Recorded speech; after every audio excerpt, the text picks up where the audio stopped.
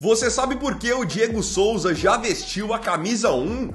Essa história aconteceu em 2010, quando o Atlético Mineiro tirou Diego Souza do Palmeiras, sendo considerada uma contratação de peso.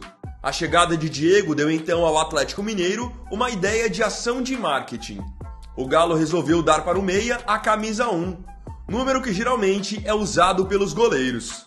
A ideia com essa numeração bizarra era dizer que Diego Souza era o camisa 1 por ser o grande reforço do time para a temporada, colocá-lo num patamar de craque da equipe.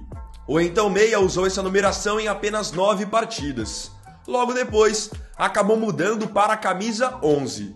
Por ironia do destino, apesar do status de grande contratação e essa história da camisa 1, Diego Souza acabou decepcionando em sua passagem pelo Atlético.